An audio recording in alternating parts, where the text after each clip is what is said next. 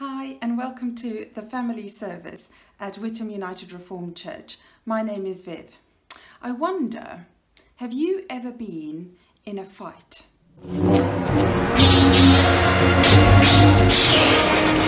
Or had a really big argument with somebody? I wonder, have you ever felt absolutely furious about something or at someone and felt rage about what you felt was unfair treatment.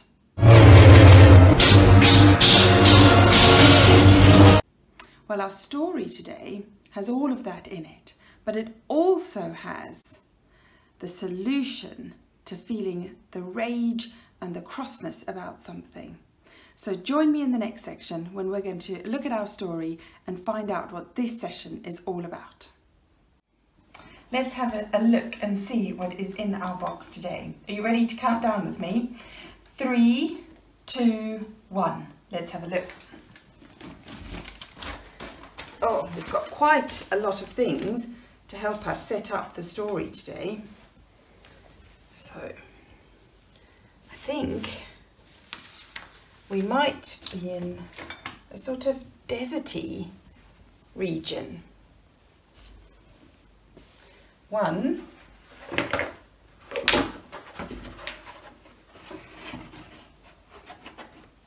where there's some mountains about and some places that might be quite good for hiding.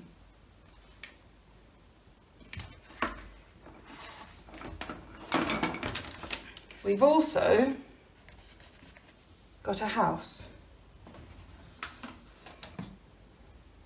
It has columns outside it, so I wonder if it belongs to somebody quite important. This is David. He is a friend of God, and one day he will be king of God's people. But at the moment, he is in trouble. And the man who is king just now he goes by the name of Saul, is out to get him. David and his men are travelling from place to place to stay safe. In this story, they are in the desert of Maon. I wonder if they hide up inside the mountainous areas, in the caves to keep safe. This man is Nabal. He is very, very rich and he is an important man in the area where David is just now. He is also very grumpy and rather mean. This is Abigail. She is Nabal's wife. She is very beautiful, intelligent and kind. David's men were hungry. So David sent some messages to Nabal to ask if he could give them something to eat. David's men had always been kind to Nabal's men, so David thought Nabal might help them. But Nabal didn't want to be kind to David. He said he'd never heard of him and he didn't see why he should give them anything at all. And he sent David's men away. David's men went back to him, and they told him what Nabal had said. David was absolutely furious. He was so cross. He told his men to put on their swords and to get ready. They were going to fight Nabal. But one of Nabal's servants was worried about how Nabal had spoken to the messengers. He knew that there was going to be a big fight if he didn't do something, so he went to go and see Abigail.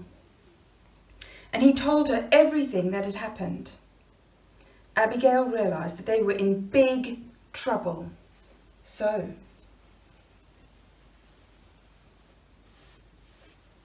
she packed up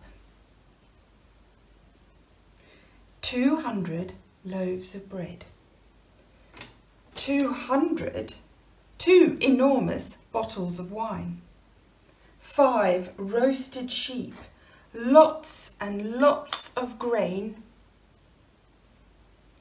and a hundred cakes of raisins and 200 cakes of figs and loaded it all into the donkeys. Abigail took her horse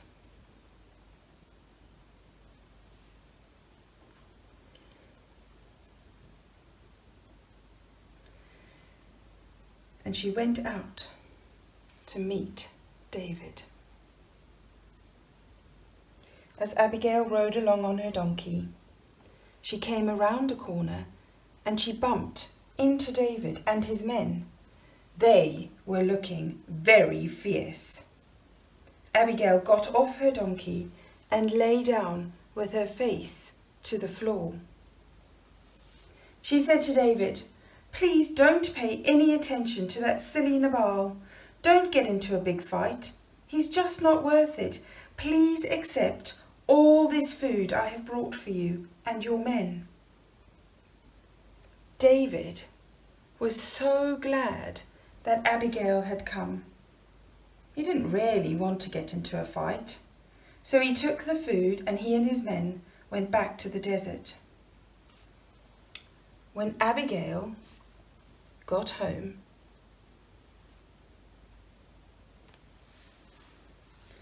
she told Nabal what had happened, and he was so cross and shocked that he fell down dead, just like that. When David heard that Nabal was dead, he sent a message to Abigail asking him to marry her and so she did.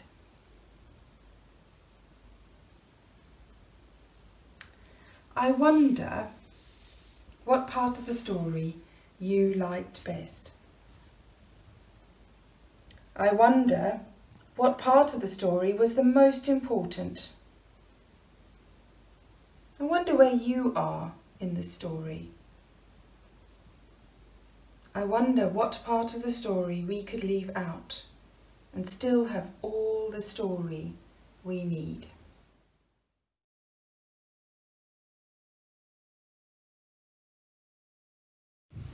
Hi, my name is Abby, and I'm going to be reading James chapter 3, verses 17 to 18. But the wisdom that comes from God is like this First, it is pure. Then, it is also peaceful, gentle, and easy to please. This wisdom is always ready to help those who are troubled and to do good for others. This wisdom is also fair and honest. When people work for peace in a peaceful way, they receive the good result of their right living. Abigail was really important in the story that we've just heard. She stopped a very big fight taking place and she made peace because she actively went out and did something about it. I wonder what are some of the things that God made us to be? Well, one of the things God made us to be is to be people who bring peace. What does peace mean? Being peaceful can mean being quiet and calm, or it can mean not fighting with other people or stopping other people fighting with one another. Sometimes it can also mean standing up for what we know is right so other people can experience peace. Or we have to be a voice for others to help them find peace. Like the Bible verse says, and like Abigail did in our story, we are to bring peace into situations to try and make them right.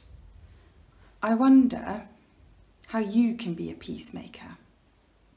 I wonder how I can be a peacemaker. Let's pray. Father God, we thank you for all that you are And we thank you that you can help us be peacemakers. You give us wisdom, just like the Bible says. So help us in the coming weeks to bring peace into all the situations that we find ourselves in. In Jesus' name, Amen.